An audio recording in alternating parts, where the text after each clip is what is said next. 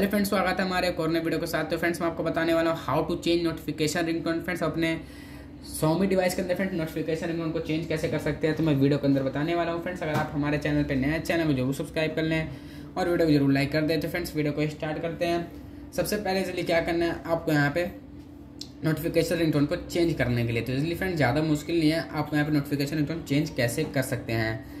तो फ्रेंड इसलिए आप यहाँ देख सकते हैं सेटिंग्स का ऑप्शन शो रहा है तो आपके लिए सेटिंग्स पे क्लिक करना है। सेटिंग्स पे क्लिक करने के बाद आपको इधर नीचे तरह स्क्रॉल डाउन करना है। स्क्रॉल डाउन करते आपको होता है साउंड एंड वाइब्रेशन इसलिए आपको इस पर क्लिक करना है, इस पर क्लिक करते आपको होता है नोटिफिकेशन इजिली इस पर क्लिक करना है। इस पर क्लिक करते हैं फ्रेंड्स इसलिए आपको यहाँ पे क्या करना है? यहाँ पे मोर पे क्लिक करना है मोर पे क्लिक करते हैं, यहाँ से नोटिफिकेशन तरह से यहाँ से चेंज कर सकते हैं फ्रेंड देख सकते हैं नोटिफिकेशन आपको यहाँ से कोई सा भी देख सकते हैं फ्रेंड्स यहाँ से अपना कोई सा भी नोटिफिकेशन यहाँ से चेंज कर सकते हैं फ्रेंड्स